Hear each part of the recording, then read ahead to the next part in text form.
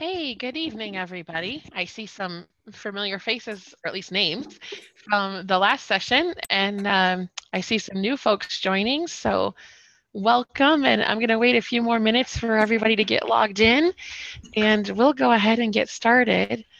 I'm going to mute everybody, but you can still unmute yourself. I just um, want to make sure that we don't have a lot of distracting background. We have a larger group for tonight's session, and I'm certainly excited to see everybody tonight. So um, anyway, we'll give it a couple more minutes and then we'll get started. Meanwhile, I am going to um, send a little note to everybody so that you and I can um, chat with each other. So give me just a moment and I'll go ahead and do that.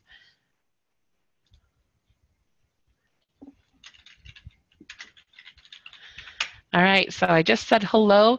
Hopefully you can all see that message and that's going to be a great way for you to communicate with me. I may unmute the lines generally speaking, but I'd like to um, keep them muted just for the sake of noise, but feel free and unmute yourself if you have a question, and then you can mute yourself back up again. So um, again, I'm just going to wait another minute or so as we've still got a few folks joining.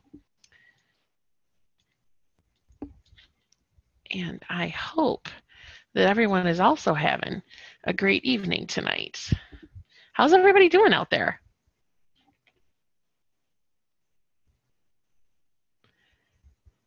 All right, good. I can see hello and good comments. Everybody's doing well. Everybody also survived um, the hurricane. I don't know about anybody else, but I was flying all day that day and I was glued to my little cell phone flying across the country, streaming the news with Hurricane Irma and thinking about all the people and the friends that I know who are dealing with it. And um, certainly, a lot of people went through a lot of awful conditions with that, and Houston folks in that whole region as well. So, um, just quite an amazing weather situation that we've had. And I've certainly been empathizing with them so much so um, we've got a few more people joining. So welcome. Hey, I see some friendly faces, or at least the the uh, the names. I can't actually see your face, so don't worry. You can sit with your pajamas. It's okay with me. Um, so I'm going to give a couple more minutes as we're just getting a few more folks on the line, and um, we will get started. I want to say thanks to those of you who submitted images for tonight's session. I'm going to try to get through as many of those as I can while still giving a good critique. I'd rather do few and do better than do a lot of them and rush through it, but I will try to do thoughtfully as many as I can tonight. And as we get started, I want to say one other important thing. Um, many times with people who um, decide to have their first critique done, they get really nervous about it. They feel uncomfortable with it they're scared of people beating up on them. and I see, Don, that you're smiling. Thank you. Um, hey, everybody's doing well. Uh, Joel, good in Michigan. Hey, Joel, good to see you on the line tonight. Um, I'm formerly from Michigan and uh, Pamela, good to see you back. So anyway, and I see a lot of other friendly faces. Samantha, good to see you as well. Um, all of you, I'm seeing lots of wonderful names. Faye, good to see you back. I just had you on the last webinar. Um, so anyhow, um, people are scared to do critiques. I get it. Um, I am always intimidated, right? To, you know, put your work out there. Heck, it doesn't even have to be a critique. It can be posting your picture to Facebook. I have some people in the photography group that I started, uh, the Photography is a Journey group, that you know some people have posted this is the first time i've posted an image and you know it might just be with a cell phone whatever it doesn't matter um, but I know that it can be scary to put some things out there. I'm working on an art and photography project that I'll be releasing in the spring, and I'm nervous about it. I think it'll be cool, and I can't wait to show everybody what I've been working on behind the scenes because uh, it's kind of a level up for me with some very different things. But I'm still nervous about the feedback that I'll get, so I get it. So that's why I say these are friendly photo critiques. I want to help you with what I can help you with. It doesn't mean I have all the answers. It doesn't mean that my opinion has to mean anything to you. So, photo critiques, first of all, it is one person's opinion. Now, it might be an informed opinion, it might not be an informed opinion, but it's an opinion. At the end of the day, when you hang a picture on the wall, let's say it's, you know, at a restaurant or a coffee shop or in your house or wherever, Facebook, people are going to have opinions on it. I don't care if you're, you know, quote unquote, one of the best photographers in the world or you're brand new with your cell phone. There are things that uh, might be wonderful about that image. There are things that other people might not like, no matter how well you do it. Think of the fanciest restaurants in the country. Some people still don't like what they prepare. And they might charge a hundred bucks a plate for it. So this is an opinion, and I never want people to feel bad about my opinion that I have for something hopefully some things will be helpful, both pointing out the things you do really well or the things that if it were my personal picture, I might try to do differently or enhance. And we may have some other folks share their opinion on here as well. But I want this to be a really safe place for you to submit your work and get feedback from me and potentially other people and to never feel bad about it as a photographer, I personally have had my images critiqued numerous times, including most recently at the photographer, the Professional Photographers Association International Photo Competition. I submitted four images uh, in the competition, and also you can pay extra and get the critique done for those. And I still am learning things based upon what other people say. These are very skilled photographers from around the world that critique the images.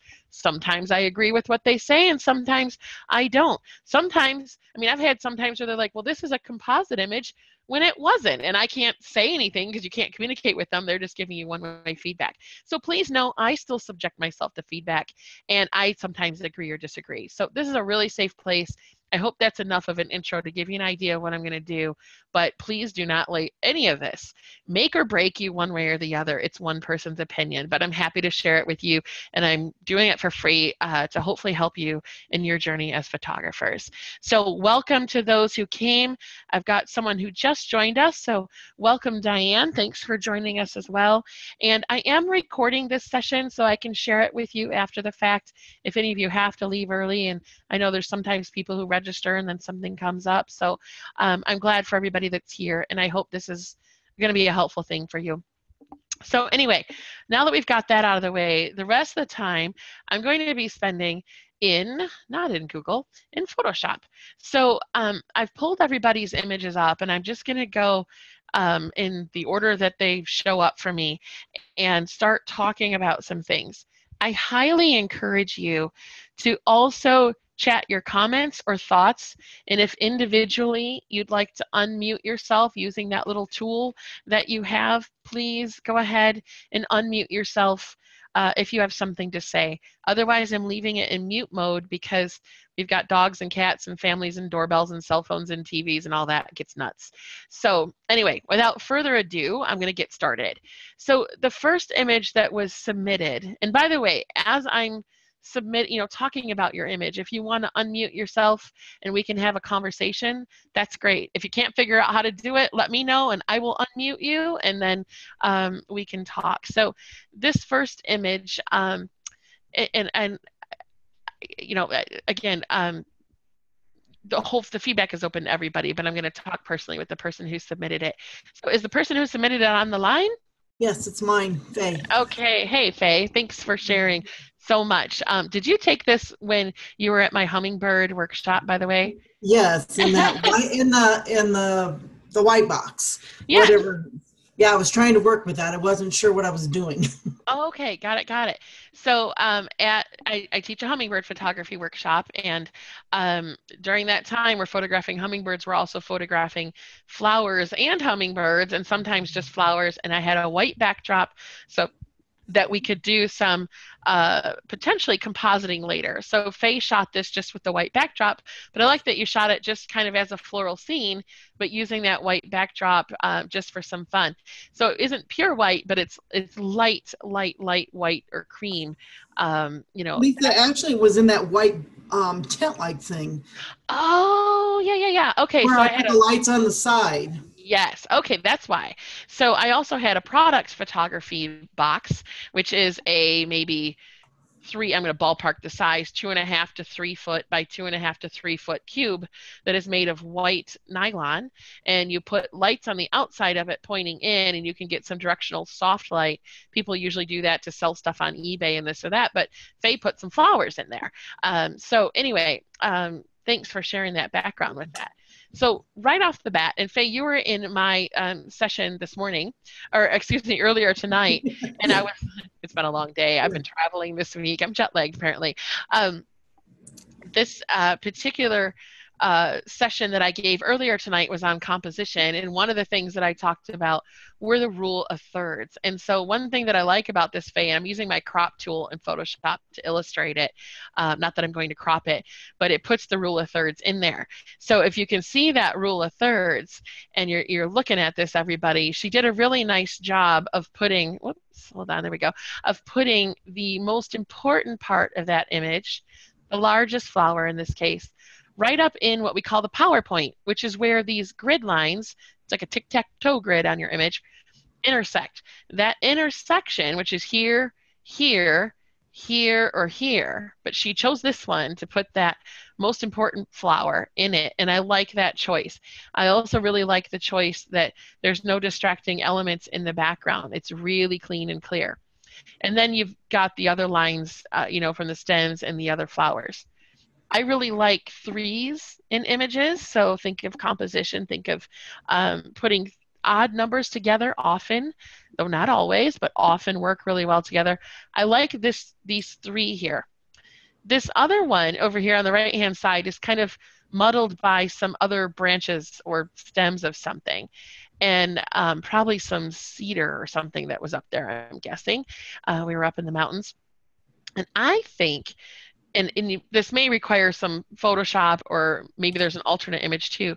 I almost think this part of the image works better. I'm to recompose it a little bit here and recrop it. I think that part works better as three personally for me, just as a thought, than having the fourth one over here primarily because I think it gets a little cluttered with this here. And if you were to play with it some more, you could get rid of some of this. You know, normally I'd say if it's a little bit, you might be able to get rid of it in Photoshop, but it's really hard to do that in this particular point here. So um, I would think of that as a, as a crop and an option. You might have to clean it up a little bit in Photoshop.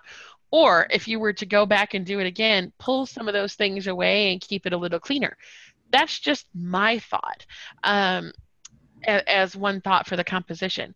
What I do like though, other than that piece, is that your flower is tack sharp where it needs to be. Um, the lighting is is soft. There's no hot spots or you know things where the flower reflected to the point that it's bright right white. You don't have any areas of contrast that are so dark that it's distracting.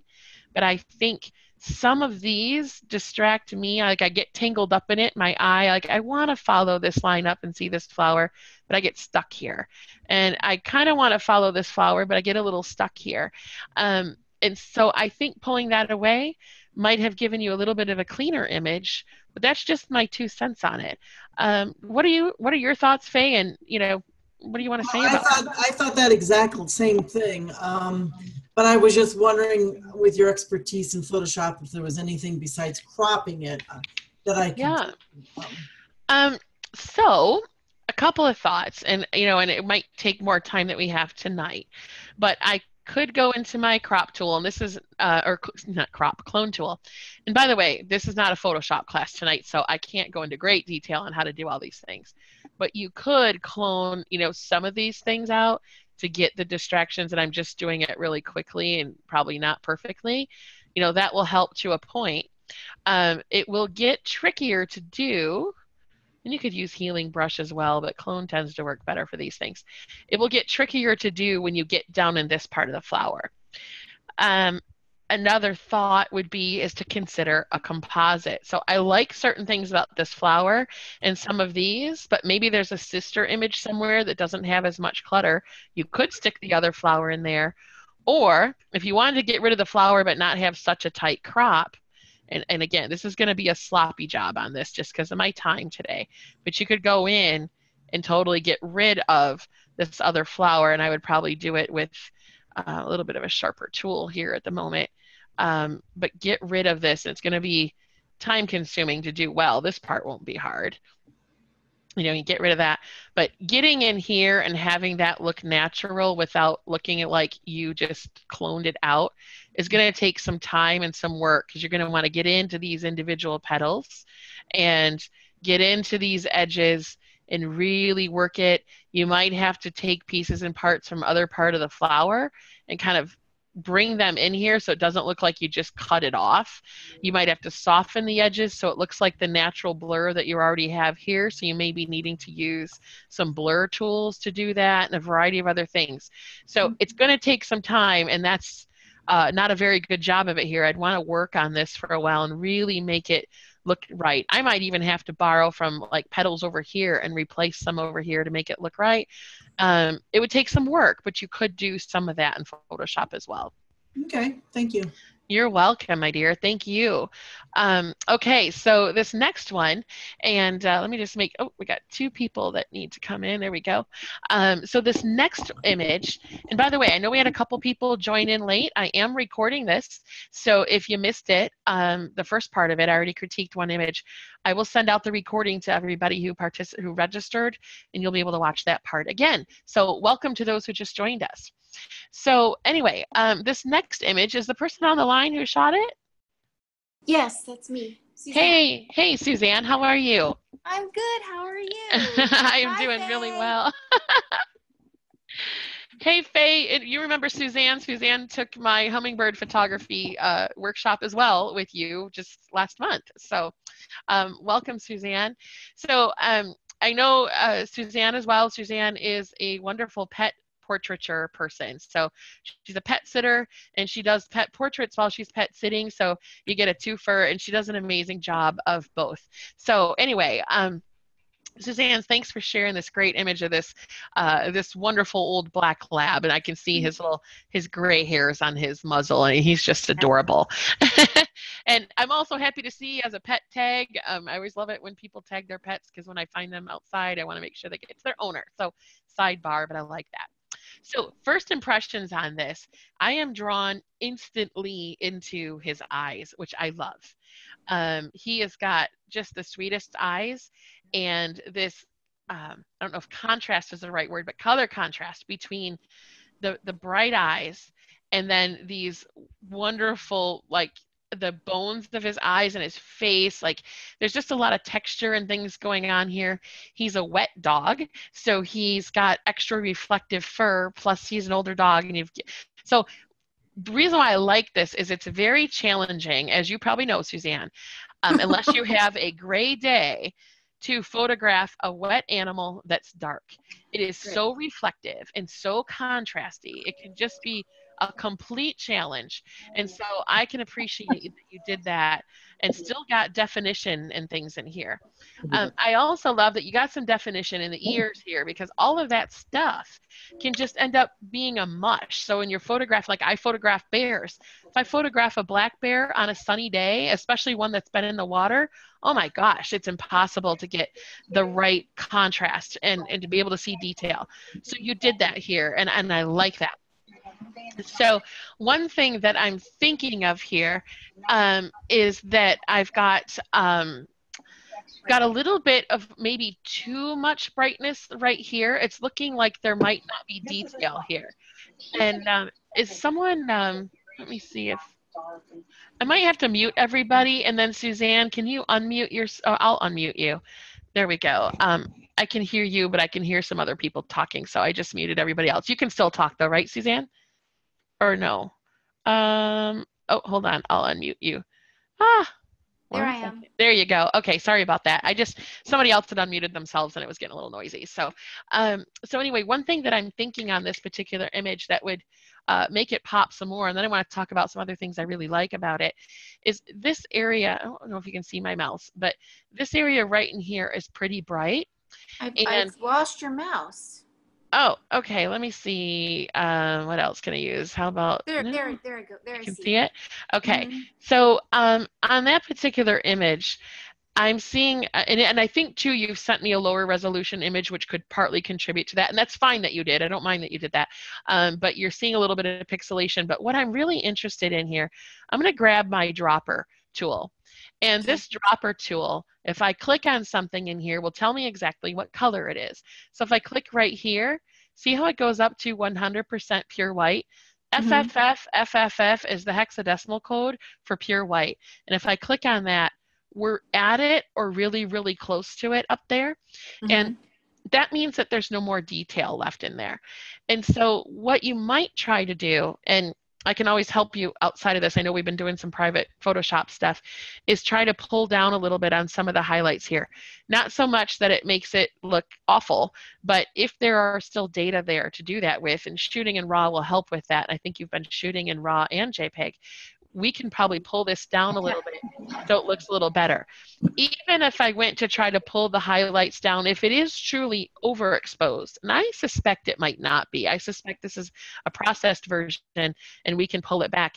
I would pull the highlights back on him a little bit, but even if I did that all the way, you can see the image change when I pull down Mhm. highlights. It doesn't Yeah. change it here, and that's because there's no more data left. So I think that could be something that could be corrected probably in your original image most Yes. likely. But I agree with your choice of making some of that contrast greater and pulling that up. We just might have went over it, you know, just might be a little too much in that case. But I Right, like I that black dogs are they are so tricky to photograph in the sun. And you're in Arizona where it's always sunny. So the other thing that I really like about this image is and uh, it was a good choice to put him here. The brown in the wall brings out the brown in the eyes. And blue and brown are a complement of warm and cool tones. And they're opposite on that color wheel, pretty close to that. Kind of orange and blue are opposite, and this is kind of a warm brown color. Those two, putting complementary colors together like that, really works nicely for um, for photography and gives you a wonderful feeling than if this was just solid blue. Like I really like the blue and the brown, and to me, it's it's very masculine. You've got this dog, and I, I really like it. I also I'm going to go to the rule of thirds here again, and if you look at the rule of thirds, you can see that in that PowerPoint is the dog, and pretty much right where his eyes are. The other thing that I like, and I'm going to try to draw this on here really quickly. Photoshop is not a um, not necessarily a markup tool, but I'm going to do my best. Um, if I took uh, my brush and let me pick a bright color so you can see it, how about red? And I'm going to go at 100% opacity so you can see all of this. Um, if I took this and I'm looking at some angles, and you could even twist your camera and do it a little more, but I have somewhat of an angle with the direction of these eyes. It's not perfectly straight across, it's a little bit at an angle. And I think you could even exaggerate that a little more or capture that dog with a head tilt of just a skosh more. But you do still have some diagonal lines here. These serve as leading lines, right? All these cracks in the bricks to take you into the dog. I like all that a lot. Um, and it brings you where I need to be. And you did do that rule of thirds and get him right in that PowerPoint. And then this over here serves as negative space. So I liked that quite a bit with what you did in that image. So that's my thoughts on that, but really well done on getting some contrast in that dog. I think we can just pull down some of the very brightest stuff. And I think you'll be in great shape.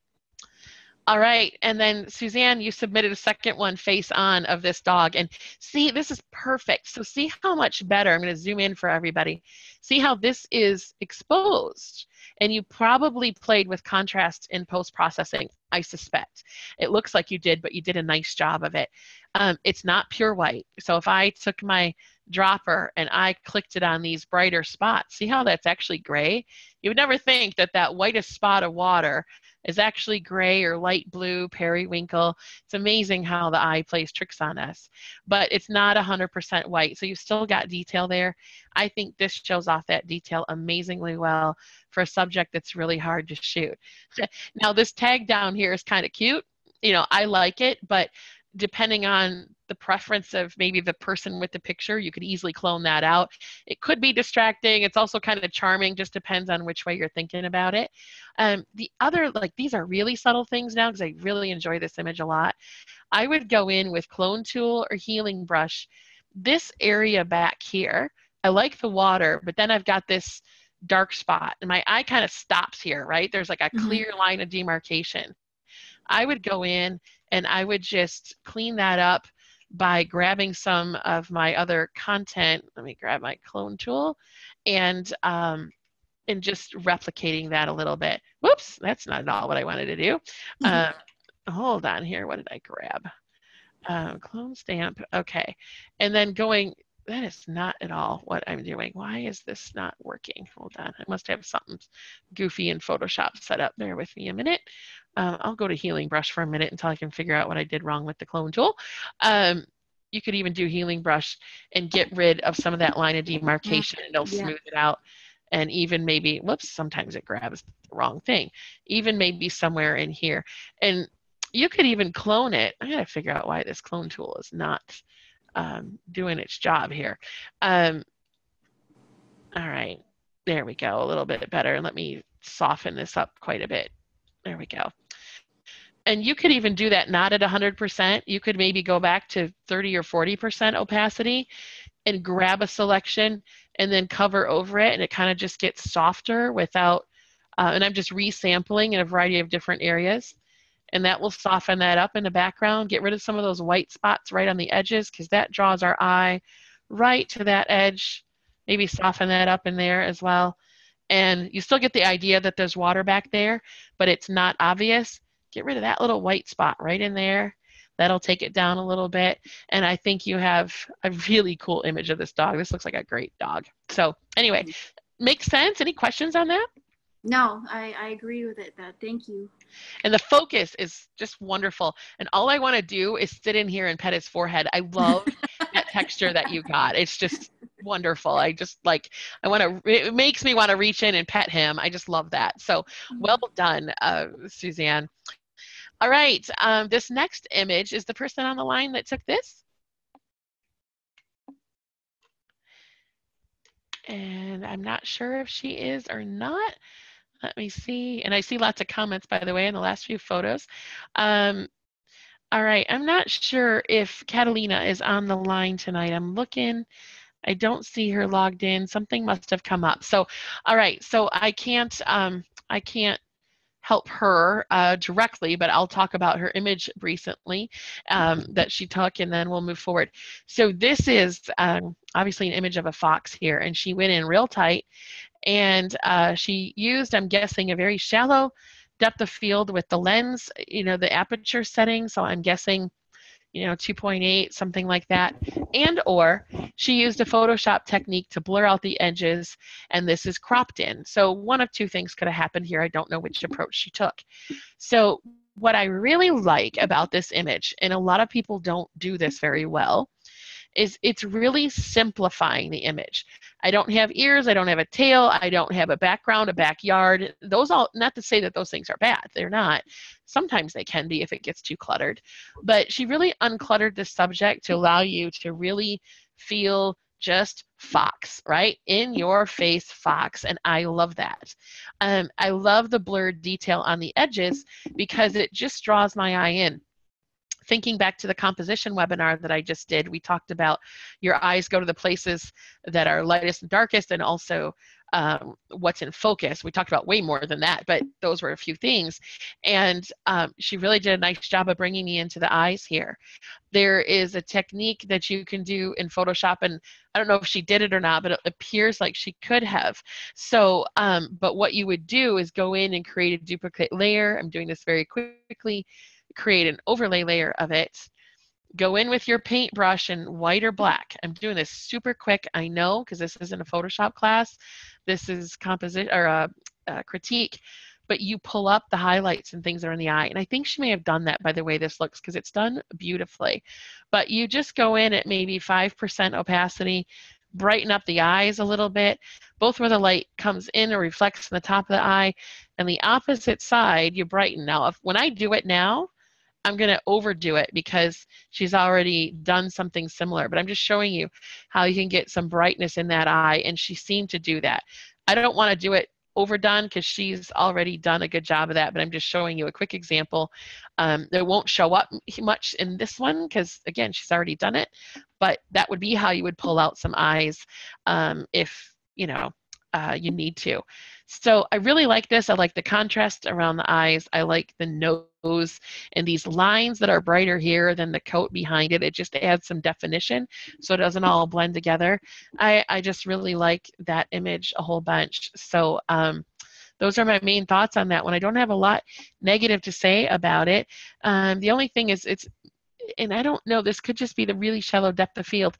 I would maybe like a little more definition in the fur here, but you know what? It is truly not a big deal to me at all because the whole image kind of has this softer feel. So um, I just really like it a lot. I wish he was here to have uh, had me talk about it.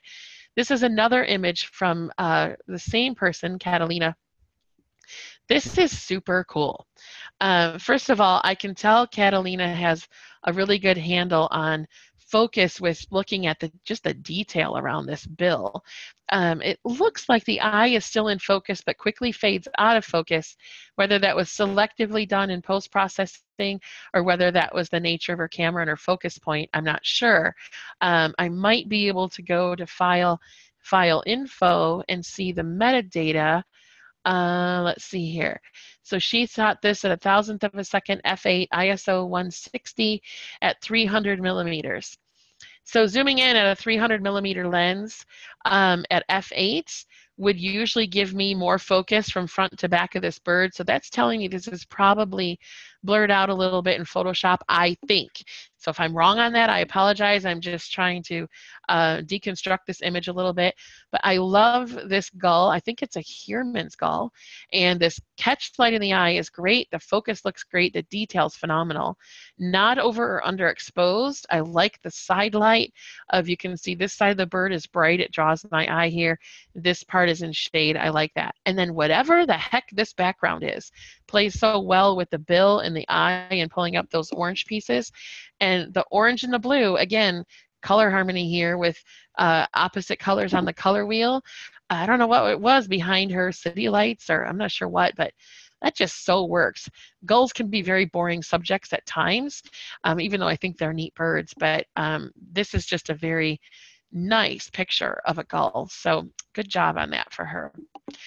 Um, if anybody has any questions, please feel free to either unmute yourself and make, since Catalina's not here, if you have any questions or thoughts, or if you want to type, type something in the chat window, um, feel free and do that. I'll be glad to respond to that.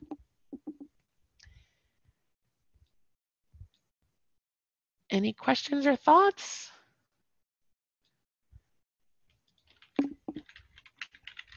Okay, all right, I'll keep going. So the next one, I'm going to close out um, some of these. So I have room for the others here. So give me one second, get rid of those. All right, we're working through these images here, about halfway through. Uh, so this one here, again, the lens that she's using is just capturing the sharpness really, really well. I'm a stickler for tack sharp detail, and this is really really well done. One thing, several things I really like about this. Um, first of all, the light I can tell was probably an overcast day, like a bright overcast day. And so there's not a lot of harsh light in here. It's soft, which a lot of times will make in hummingbirds that gorget flare. If you're not already not using flash technique, uh, multiple flash setups for the hummingbird gorgets, um, sometimes they don't flash very well. Um, this one is catching some of that color and I like it. I also love just the light and how it played on this green. I mean, it's just really done absolutely tack sharp.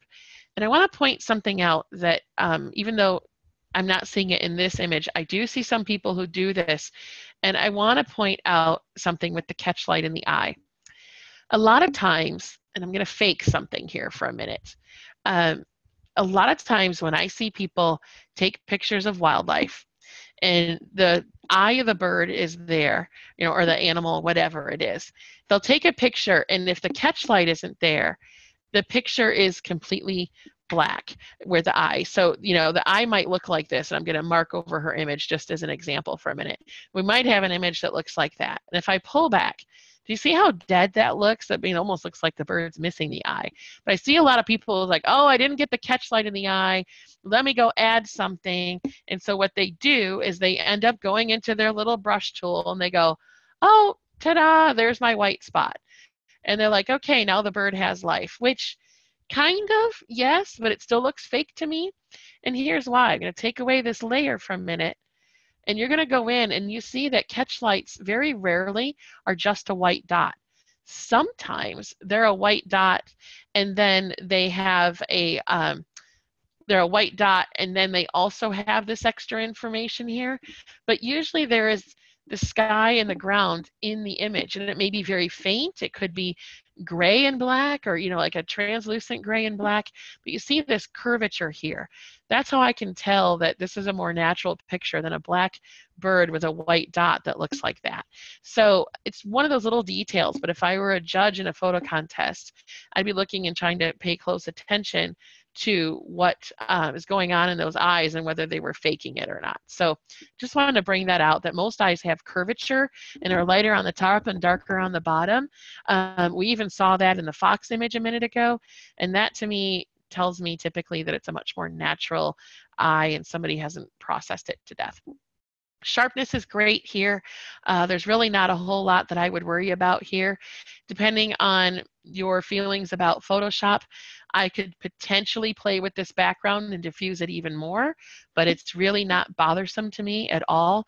Um, I think that uh, it's really nice. I've seen backgrounds that are a lot more busy. Uh, maybe one little thing that I might do is just tone down a little bit of this white area here just so that it's not quite so busy um, and, and, and drawing my attention. Same with some of the area up here.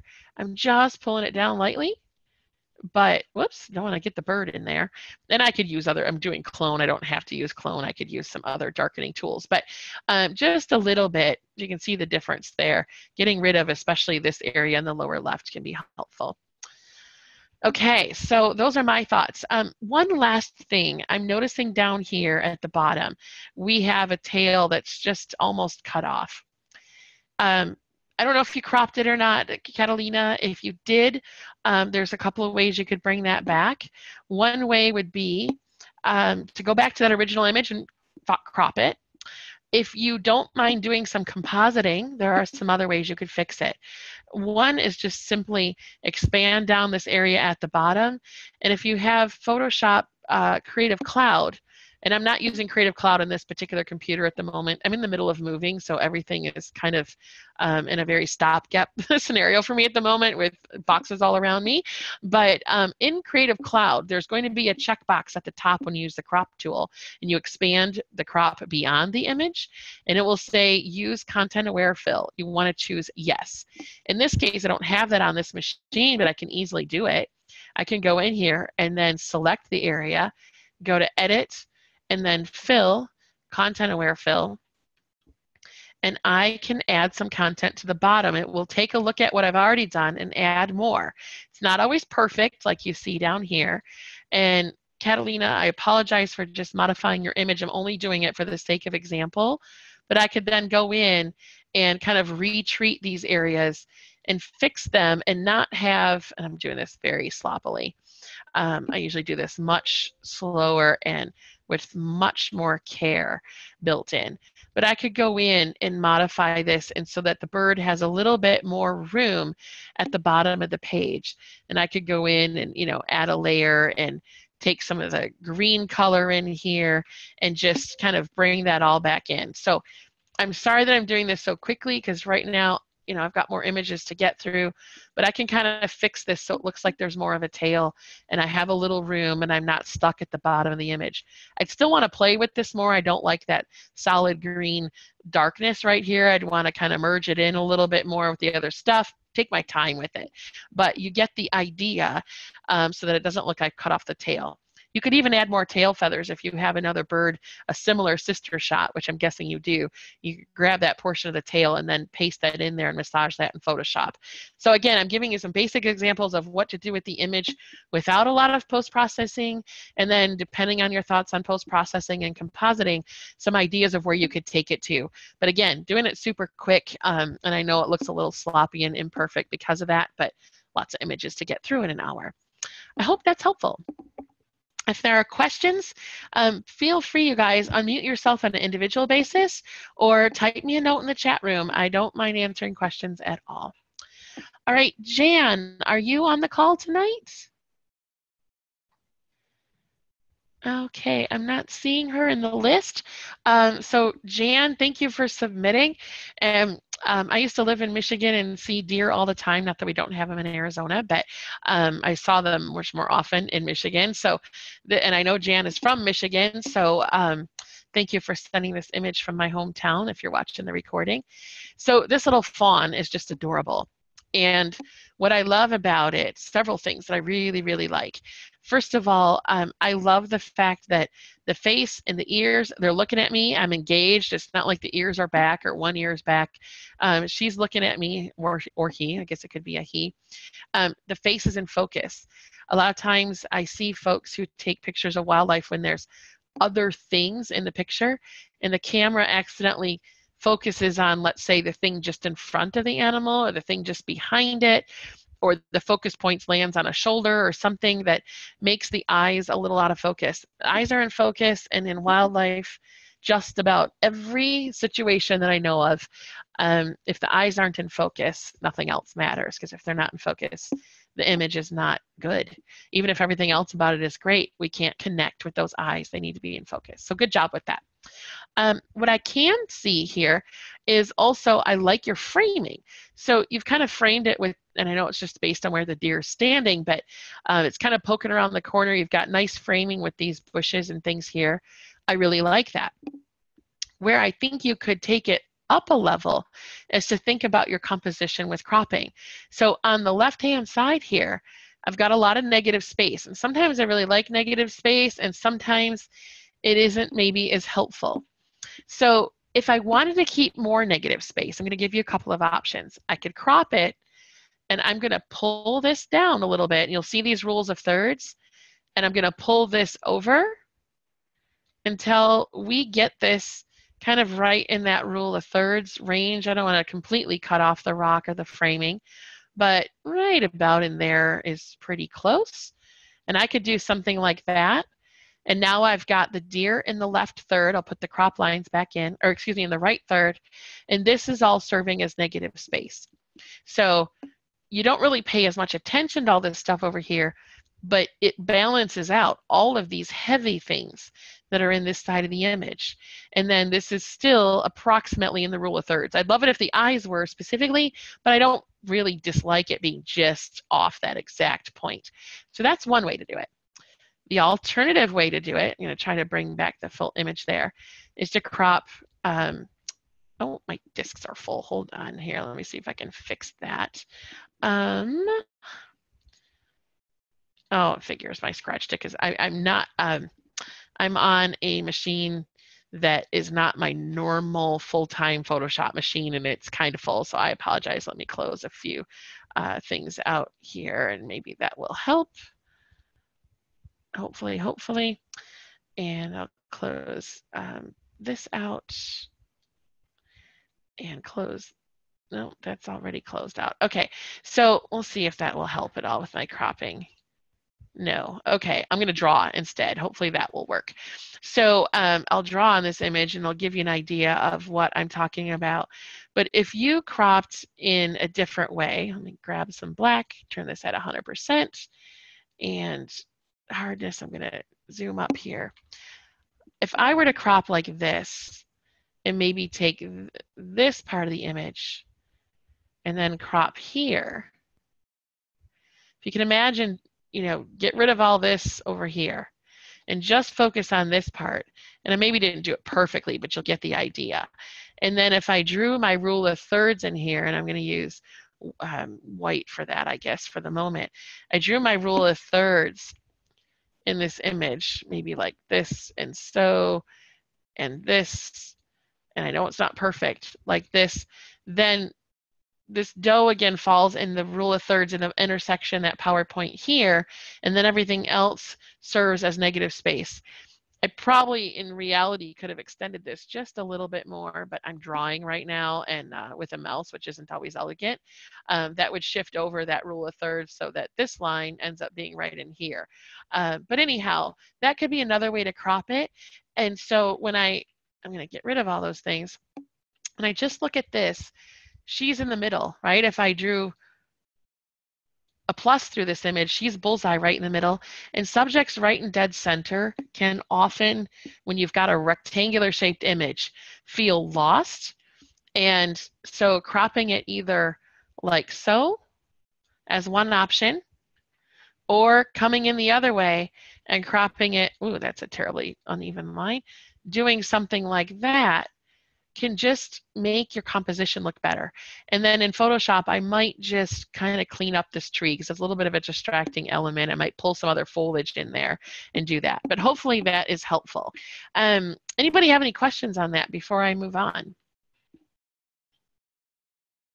All right, so let me ask this, if you guys can just type in a response. What's a takeaway that you've had so far that you've learned something about, um, something that really resonated with you so far tonight?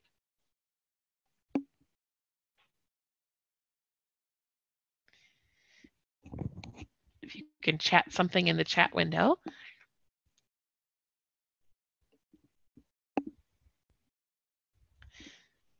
All right, thanks, Joel. Keeping the eye in focus. Faye, rule of thirds. You've really hit on that tonight. Anybody have any other thoughts or things that are standing out?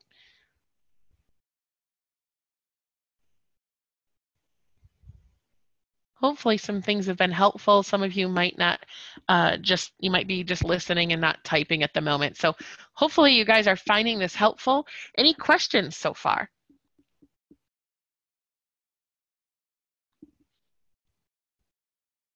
Okay, well, please type your thoughts and questions. I really do appreciate them. And it helps me know if I am actually helping you and not just sitting here talking for my own good. So anyway, I hope that, that, uh, that these things have been helpful so far. All right, here's another one. This sleeping fox is so sweet, isn't he? Oh, um, thank you for um, mentioning that, that you've been working on cropping a lot more lately and this has helped reinforce what you've been doing. I am glad about that. Um, that's really helpful. Um, let's see here. Uh, Faye, good reminders. Okay, good, good, good. All right, keep your thoughts and comments coming as well as your questions. I don't mind those at all. Um, okay, so here's this fox. And first of all, just what an accomplishment to find a fox sleeping like this.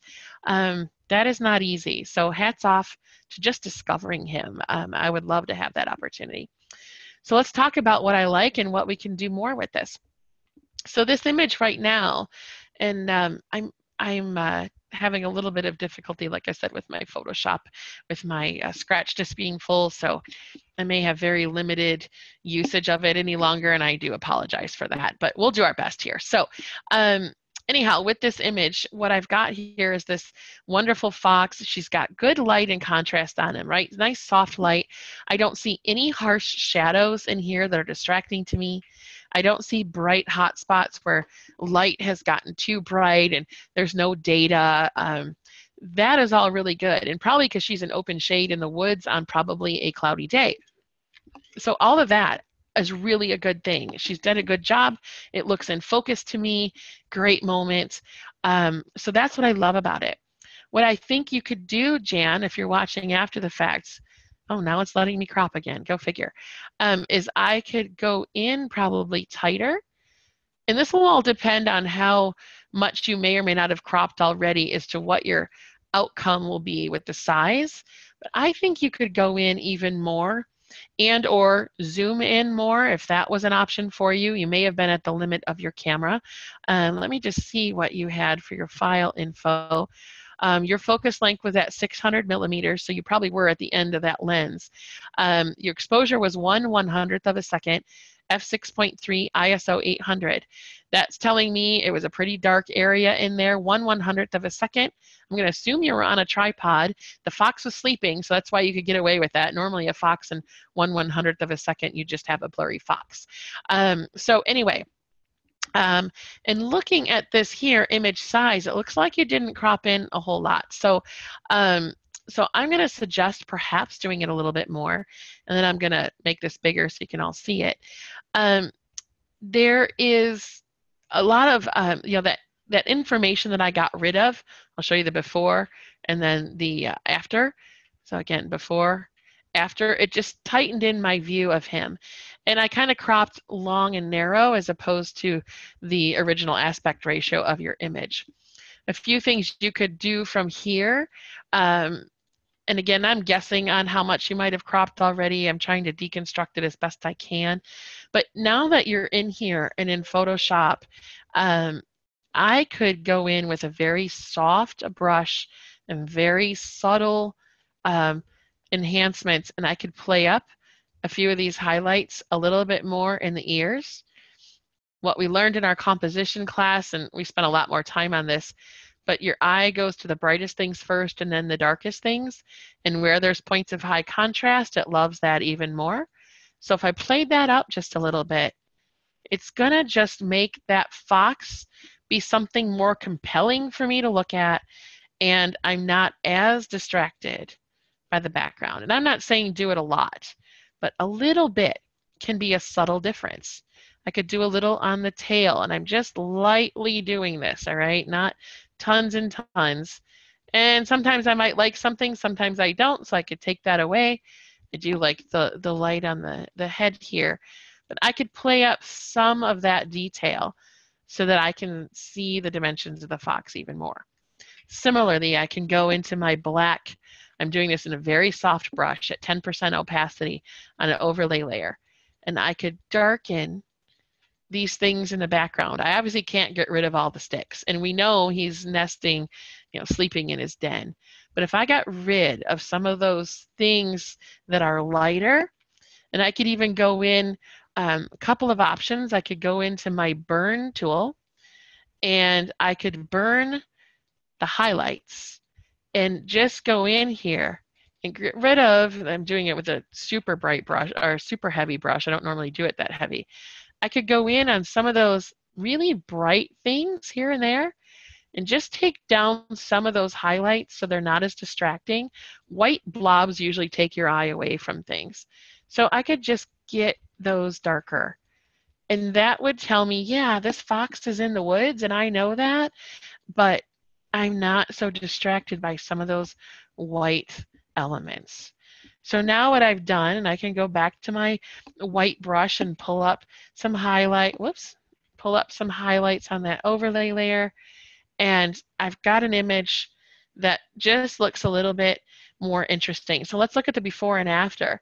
Here's before I did the lightening and the darkening. So all I did was with a 5 to 10% opacity brush, lighten and darken. Okay, so see the difference of how my eye goes right to that fox and the other stuff is just supporting. And then this is the before where my eye goes to the fox, but then it's really distracted by the branches. So that's one thing I would do. The other thing, and this is all if you're open to some post-processing. The other thing I would do these leaves are a little bit distracting to me. So I might want to consider getting rid of them. So I could just clone those out really quickly. And that might help just clean up the picture a little more as well. So anyway, those are my two cents on that. But if anybody has any more comments or thoughts on that, I'm open to it. But here is your begin, actually, um, it was the uncropped version, which I've already cropped, so I can't show you that. But um, there is the original one that I cropped, and then there's with the treatment. And again, I'm doing it quickly. Um, I might be a little more subtle and take a little longer to do it if it was my real image, but hopefully that will help you, Jan. Um, here's another one here from her, this lovely little house sparrow, which I actually appreciate. She shot a house sparrow. Most people don't think of those birds as very interesting, but if you really study them, they're interesting birds and beautifully colored. And the older the male, the more you will see the bib on their chest. You can tell the age of a male by uh, looking at the definition on the bib. Um, the younger males don't have as much. The older males are really well defined. This one's kind of somewhere in between. I love this little tuft of feathers here and that you got the detail and that it's sharp. And if I zoom in, your eye is, and I know this is a cropped version zoomed in now, your eye is pretty sharp. Um, so, and I think you've cropped this to some extent already, I'm guessing, but it, you know, it looks pretty sharp. Could be maybe a hair sharper. I think your focus was more over here and on a shallow depth of field, the eye was already a, just a touch, but it also could be due to some artifact from cropping because the bill looks pretty sharp. So I think you've already cropped in a little bit and that's what I'm seeing. So I like the fact, I'm gonna put my crop here and look at the, the rule of thirds. I like the fact that you have um, on this rule of thirds, let me get my brush tool really quickly so I can draw on this and show you something. Um, on the rule of thirds, you're pretty close to it with regard to where you included the top of the fence or picnic table or whatever this was um, with where the bird is. So I'm just going to draw the rule of thirds and it's not going to be perfect, but you'll get the idea. So this is probably about equal thirds. So the bird's right in the middle. We didn't put anything in a rule of third. It's actually right in the middle. What I like that you did with this is you chose to do it in just about an absolute square crop. So if I did this in a 12 by 12 ratio, there's a square crop. You're a little bit wider than square, um, but things that are right in the center tend to look better in a square crop than a rectangular crop most of the time. So you might even be able to tighten in a little bit on that crop and make it a square crop. I'm going to get rid of my rule of thirds for a minute, tighten that in as a square crop. Things look better when they're in a square crop when they're in the center, but then I would bring this in and then tighten that up a little more with your square crop. So you can see then that this I don't know what it is, fence, picnic table, whatever, is right on that bottom third, and that might make it a little bit more interesting for you. Third thing that I would do, and I'm gonna go back to my, my overlay layer, although there's a bunch of different ways you could do this, is one of the main rules is that your eyes go to the brightest things first and then the darkest things. So you've got some nice contrast here in the bird, and I think my eye does go to the bird first. But see in this lower right-hand side how bright this is. My eye starts out here and it goes here and then it pulls instantly down here. And I feel like even though I want to stay here, this is always calling my name. So I would suggest darkening that just a little bit. And I'm using just an overlay layer. I'm going to say 10%. And I'm going to try to pull, um, pull that down a little bit more. Maybe I need to brighten it even more or darken it. I'm, I mean, even more. I might need to do even more than that. When it gets too bright, sometimes there's not enough data there. So let me try burning the highlights and we'll see if we can make it happen that way. And it may or may not even pull down with that, but I am going to try. I'm still burning those highlights. Let me flatten this a minute. Try it again. Sometimes Photoshop acts up a little bit. That's a little better, but not exactly the look I wanted. I don't like it muddy like that. So what's that's telling me is that there's probably no data down here, meaning if I took my dropper and I went and sampled down here, it's pretty, it's still gray, but it's close to white. It might be gray from some of the, the things that I did to it already.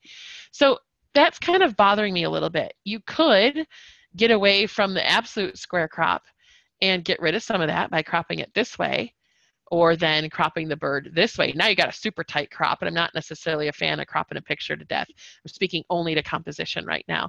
That gets rid of some of that white. Or you could try some of the post-processing techniques to darken that, uh, but you don't want to darken it and just have a muddy blob.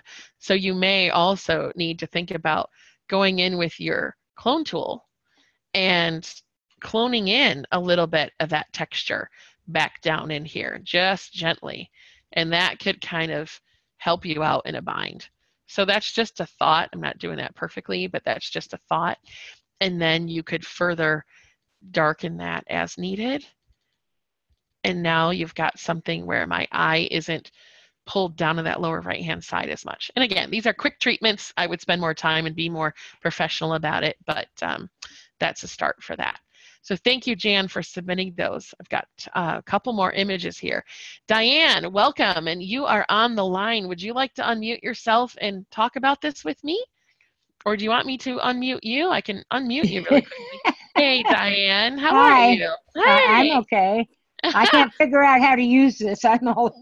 well, it looks to me like you did, and I hear you, and you're on the Oh. line, and I've got your pictures. oh, So- okay. Hey, we're we're cooking with gas. Um, it's good to hear somebody else's voice other than my own too. So, Oh, uh, yeah.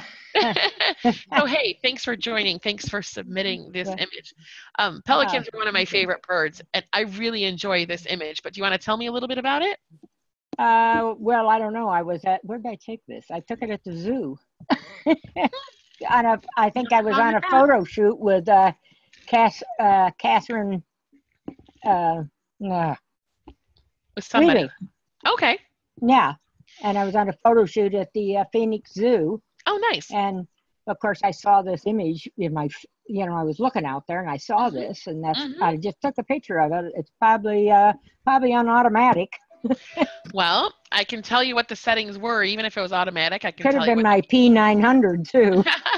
so even on automatic, the camera still chooses settings for you. Yeah. Um, and so you were at 107 millimeters, meaning you were pretty fairly close to this bird. One sixteen hundredth of a second, which that tells me exactly why it looks so sharp because your the exposure setting was high. Oh, okay. F5.0, which means you had a relatively shallow depth of field, which works for this image. Um, so Uh-huh. nicely done here.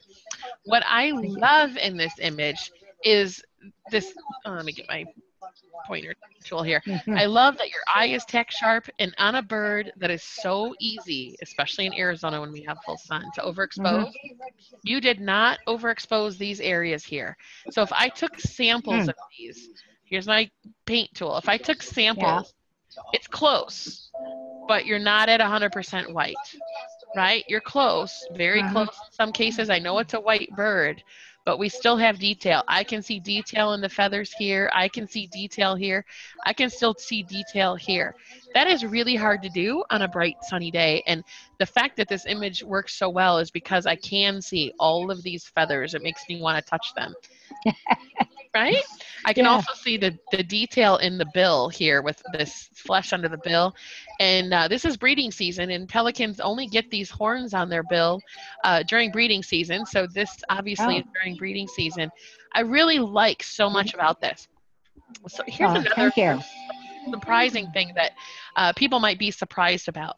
So the edge of the head is is cut off, and some people might say, "Oh, you cut off the head," but you know what? Are If- right brain or left brain is what Right. my. right. Well, here's the thing: if I if you Mm. didn't cut off the head, I, and and and I you could almost do it a little bit more, although I'd hate to lose that detail. This Mhm. unconventional kind of crop actually makes this work better.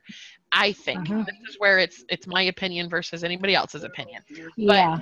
Otherwise, you know, you have the whole head, but you'd have space over here, and like I feel like my eye would be like, "Wee, I'm way over here, and now what do I do?" Whereas it sort of gets you tight into this image. It it it's like a close feeling, and it all keeps you contained right in here. That's my personal preference, but I don't mind that you did it. I actually like that you did it. So. I I have a habit of cutting off little pieces here and there. Well, it might be a habit, it might be a style. It depends on Yeah. how it's done. You know, it's Yeah. just like with a people portrait. A lot of times you'll see the tops of the heads cut off strategically, called the unconventional crop, but it really makes things work Yeah. if, if done well. You have to do it right. Um, there's a point Mhm. where you do it not enough or too much or it's the wrong composition. But I like all of this. I love the detail here. Um, tack sharp, and I always look for that. So super well done. I might now. I don't know what a big fan you are of Photoshop, um, but what I might do is go into my little overlay layer, and this eye is so pretty. I want to Hmm. make it pop a little bit more, so I might go in and just lightly pull Ah. this up a little bit more, and Hmm. because I want to be able to get in there. I want to connect with that eye, so I might pull that up a hair more. And if I come back out, and I did it a little bit exaggerated just to give you a feel, Yeah. but there's the before, there's the I- after. I have Photoshop. I just it's too confusing. I have Yeah, trouble using it. I understand. And, and there is a tool that I'm going to send. Uh, I can send everybody this link. There is a tool called Macphun, M A C P H U N. And I'll just mention it for anybody else. Um, I'm Mhm. kind of like my, it's my newfound love. I really am enjoying this tool. Um, I'll send Oh. you a link to save you 10 bucks off of it. It's only 65 bucks. I believe that's the price. And it's permanent. It's not like a monthly subscription. It is not as complicated as Photoshop. There's lots of cool presets and things you can do. It. You can do a ton with it, um, and it's a standalone. You don't have to use it with Photoshop. The people who used to make Nick Talking software and others um, have developed this. Uh, from my understanding, they've done a really cool job. So that could be a tool, and I'll I'll include a link and a follow up so you guys can take a look at it. I think you can do a free trial of it, and I, Oh, I have a discount code for it for 10 bucks off. So that's always cool. Oh, Um, okay. So back to this image. One thing that I might have you do if you want to try Photoshop is down here in the lower right hand side or left side, Mhm. there's this um, uh, lily pad or I don't know stem of something. It's it's a little bit distracting for me, I think. But what you can do is go in with your healing brush or with the clone tool, and we can get rid of it. So I'm going to try Oh. it first with healing brush. And if it works, it works. well- Uh, Oh. works like a dream. Oh, Um, that worked. Whoops, there we go. Yeah, I'll get Oh. rid of that. And you can kind of Yeah. play with it a little bit. If it didn't do it perfectly, go in there and touch up. But that now doesn't create a stumbling block for me. And I really like that. I might also get rid of those little feathers here, even though I know they're reflections, they're a little bit distracting. Um, so I just kind of look for little distracting elements along the edge. But I think you've got a winning image here. Other than that, I wouldn't do a darn thing. I really, really enjoy this. No, thank you very much. Really nicely done. And um, you know, if anybody else, uh, yeah, the detail in the white is impressive. Rose was saying that, and I agree. And um, yeah, so um, so anyway, good. And uh, Don, thank you for your comments on the previous image as well. All right, Diane. Okay. Uh, whoops. Uh, hold on. I didn't mean to close that out. I meant to close this one out. Um, there we go. All right. So you've got this lion um, that is probably at the Desert Sonoran Museum Uh, or at the zoo. uh, no, I think it's at the Phoenix Zoo. Okay. So this lion, this um, uh, mountain lion, I really enjoy your composition a lot in this image. So I'm going to go back to that rule of thirds piece again for people. hmm And you've even kind of exaggerated a little bit. But the fact that you just didn't put the face in the middle, you've got the face, you know, the most interesting part of this image is in this upper power point area.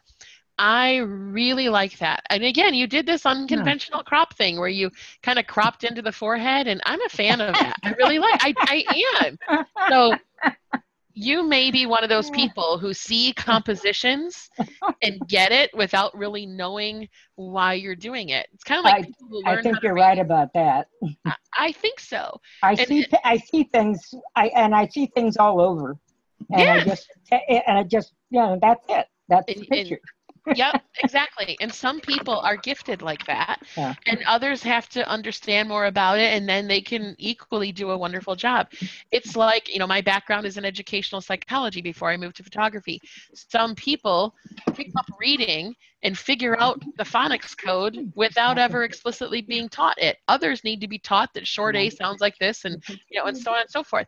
Different mm-hmm. people acquire knowledge in different ways. I like that you're doing what you're doing here. So I wouldn't Okay. change that at all.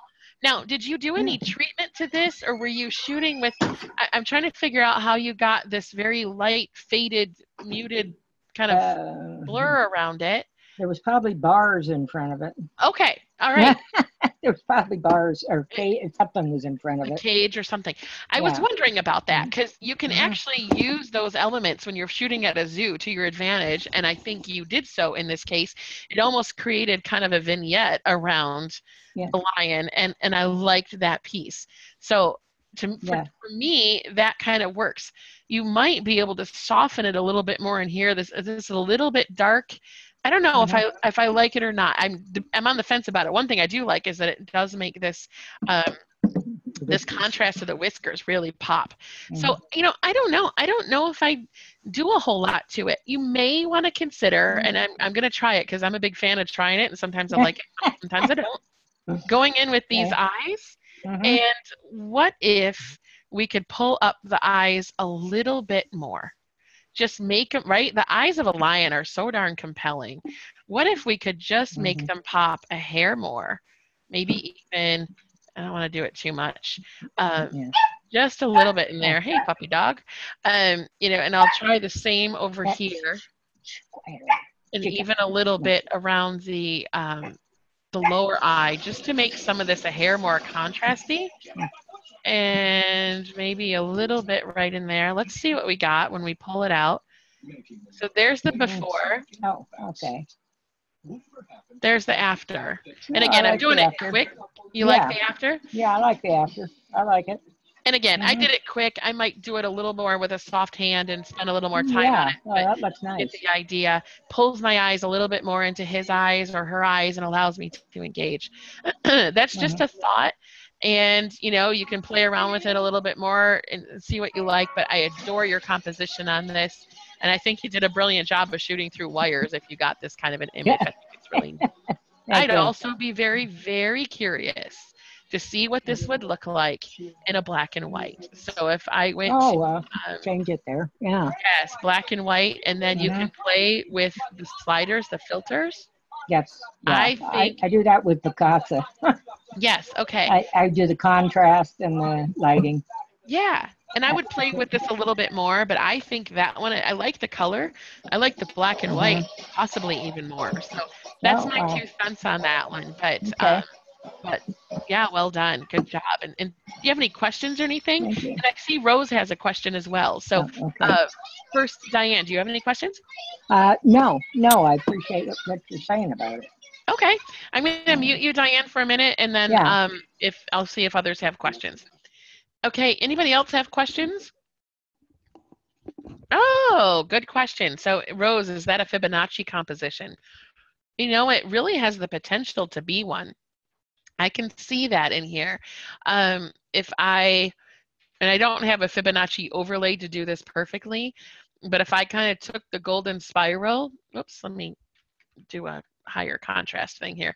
I could take kind of the golden spiral and I could see that playing out through here. Um, yeah, I could see some of that. I could I could design a, a Fibonacci overlay and see if that would work. And if you haven't learned about Fibonacci or golden spirals or composition, um, I touched on that in my composition class, and I could teach a whole class just on Fibonacci. But um, but anyway, really interesting question, and I agree with you. I think that is why it's so compelling. The composition is just very striking in this, and the fact that all of these things around the edges are blurred, and this part is sharp, and the color is more dominant and strong and contrasty here than anywhere else in the image really draws me in and i just adore the way diane cropped this. You know yeah she could have left more of the head in but it would have completely changed it. This is all about the face and i mean i just get this just emotional response to that image. I, I really really like it. Um and then someone said hold on here let me get rid of this um, draw the curve from the other eye and down the body. So from here, you're thinking from this and like into this. Yeah, you could potentially do that too, because it also brings in this eye as well. Very interesting. All right. Yeah, you did shoot close, but I like it, Diane. I really like it. All right, it is the top of the hour, and believe it or not, I got through all the images, which is amazing. So, uh, actually, it's top of the hour plus 10 minutes. You got a freebie of more 10 minutes. But I hope this has been helpful for everyone. Do you want to type me a couple quick notes and tell me what resonated the most, what you learned the most from tonight, whether or not you submitted an image?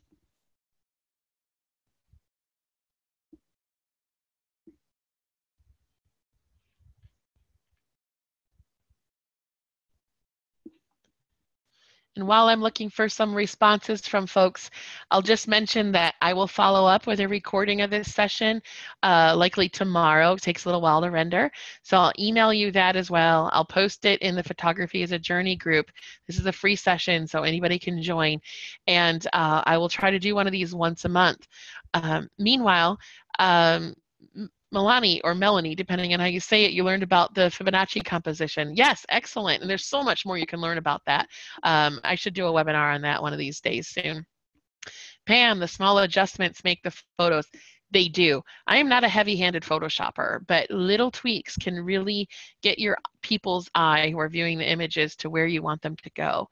Um, thank you, Diane, about what I'm doing in the Photoshop.